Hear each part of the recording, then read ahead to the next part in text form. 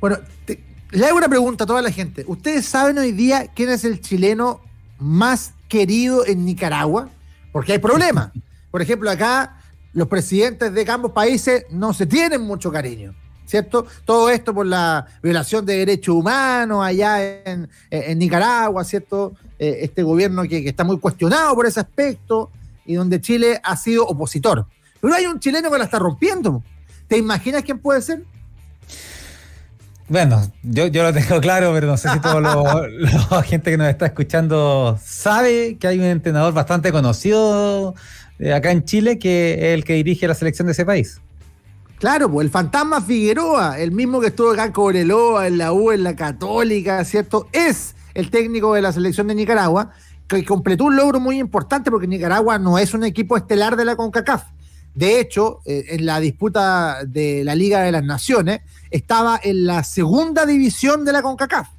Y el gran mérito de Marco Antonio, el fantasma Figueroa, es que lo logró subir a la Liga A de las Naciones de la CONCACAF por lo tanto, ¿qué quiere decir? Va a jugar la Copa de Oro y dependiendo de cómo le va, puede clasificar a la Copa América 2024, esa que se va a disputar en los Estados Unidos. Por lo tanto, hoy día le están prendiendo velas al fantasma Figueroa, que con muy poco, porque Nicaragua no tiene jugadores estelares que estén disputando eh, competencias en ligas más elevadas que la mexicana, que es el tope.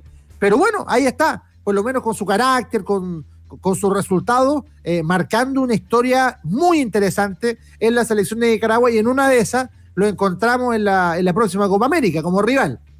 Sí, este es el, verdadero fantasma del Caribe está ahí haciendo, una, una, gran una gran tarea ahí en Nicaragua.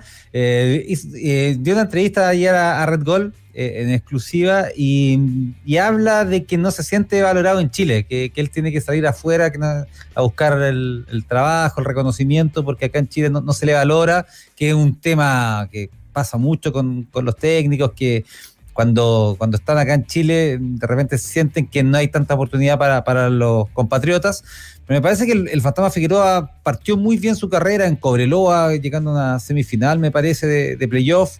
Después en Católica llega a la final del 2009, pero, pero se fue se fue desinflando a medida que fue pasando los años. Creo que, que él tiene muy buena llegada con muchos de esos jugadores, pero de repente el querer aparecer en la prensa no, le jugaba una buena pasada, porque él no es el, tipo que, después uno ve en la prensa, que, es como una especie de personaje, sino que él es otro, y tú conversas con él y es súper simpático, te, da una entrevista, es muy amable, y, creo que eso le puede haber pasado un poco la cuenta acá en el, en el medio nacional. Eh, también el, descenso con Cobreloa en su momento no, no le hizo bien pero creo que eh, condiciones y aptitudes tiene. Siempre tuvo un, estilo de juego que era ofensivo, que era aguerrido, que es un poco lo que le ha traído buenos réditos al, fútbol chileno en, los, en estos últimos años.